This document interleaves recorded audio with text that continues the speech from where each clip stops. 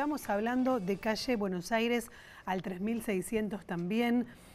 A la vuelta del crimen de esta mañana, una mujer mayor cuando se despertó esta mañana sintió que no podía moverse, no podía mm, hablar, no podía mover su boca, no encontraba tampoco su teléfono para pedir ayuda. Cuando logró levantarse se dio cuenta de que había sido víctima de un robo. La casa estaba completamente desvalijada, se habían llevado televisores, eh, algunas alhajas, teléfono, en su teléfono obviamente, y dinero que tenía de la recaudación de un kiosco que maneja también ahí en el lugar.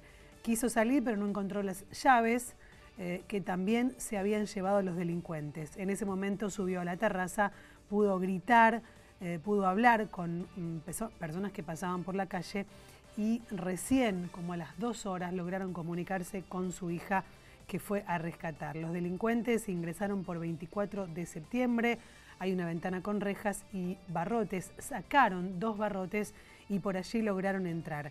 Ella entiende que la durmieron, que la drogaron, que trabajaron muy tranquilos, que tuvieron tiempo de llevarse los elementos de valor y se fueron por la puerta que luego cerraron con llave. La dejaron encerrada en su propia casa.